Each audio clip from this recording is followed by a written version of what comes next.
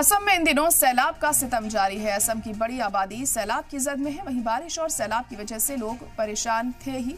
अब उन्हें महँगाई की मार भी झेलनी पड़ रही है। रोज़ाना इस्तेमाल होने वाली कच्ची सब्जियों की बढ़ती कीमत से लोग परेशान हैं। गुवाहाटी के खाओकुशी होलसेल मार्केट में सलाम टीवी की टीम पहुँची, जहाँ लोगों से और दुकानदारों से बातचीत की। सब्जियों की बढ़ती कीमत को लेकर दुकानदार ने खास तौर से कहा कि सब्जियों की बढ़ती कीमत की अहम वजह है सैलाब। सैलाब की वजह से असम में जो सब्जियों के खेत थे, वह डूब चुके हैं और खराब हो गए हैं और जो बाहर से सब्ज़ियाँ आती थी, वह भी नहीं पहुँच पा रही हैं। बाढ़ के सबब गाड़ियों के बाहर से मार्केट में आने में दुश्वारी हो रही है। दुकानदार ने कहा कि अभी सभी सब्ज़ी होलसेल मार्केट में ही सौ से अस्सी रुपए में बेची जा रही है। इसीलिए रिटेल मार्केट में दुकानदार सब्जियों की और ज़्यादा कीमत ले रहे हैं।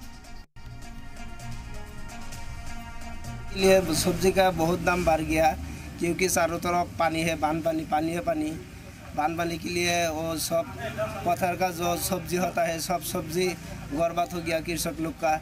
इसलिए जिधर में एक कुंटल वो लोग बनाता है उधर में दस के जी ऐसा होता है इसलिए सब्ज़ी का दाम बहुत बढ़ गया। सब्ज़ी का जो दाम बढ़ा है इसके कारण से आपका बाढ़ का जो आया है उसके कारण से रेट बढ़ा है जबकि कोई गाड़ी आ नहीं पा रहा है बहुत जगह पुल टूटा है रोड टूटा है और खेत में जितना भी सब्ज़ी हो रहा है उसके कारण से भी थोड़ा हुआ है क्योंकि खेत में पूरा बाढ़ पानी आ गया है इस कारण से बढ़ा है रेट थोड़ा। होलसेलर रेट चल रहा है अस्सी रुपया सत्तर रुपया ऐसा रकम और भात करेला हो गया अस्सी रुपया। और नेसरा हो गया अस्सी रुपया झींगा हो गया अस्सी रुपया और सब कुछ सौ सौ रुपया हो गया मार्केट में। होलसेलर में कारण क्या है? वो बाँध पाने के लिए हुआ वो माल आ, आ रहा है नहीं पा रहा है क्या?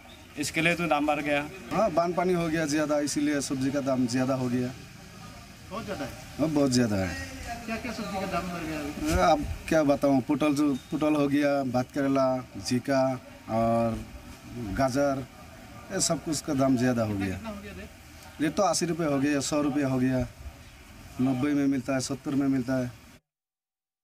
सलाम टीवी की टीम पहुँची गुवाहाटी के खाओकुसी की जो सब्ज़ी के होल होलसेल मार्केट में। क्योंकि बाढ़ के वजह से अभी सब्जियों की कीमत बढ़ती जा रही है। हमने सब्ज़ी दुकानदारों से खास बातचीत की और उनसे पूछा कि जो बाढ़ के वजह से जो सब्जियों की कीमत है, क्यों बढ़ रही है? उन्होंने साफ़ तौर से कहा है, बाढ़ में खेत डूब चुके हैं और बाहर से भी सब्ज़ियाँ नहीं पहुँच रहे हैं क्योंकि बाढ़ में गाड़ियाँ जो है, वो नहीं आ रही है क्योंकि बाढ़ बहुत ज़्यादा है। इसी कारण अभी बाढ़ को ही खास तौर से सब्जियों की बढ़ती कीमत का कारण देखा जा रहा है असम में।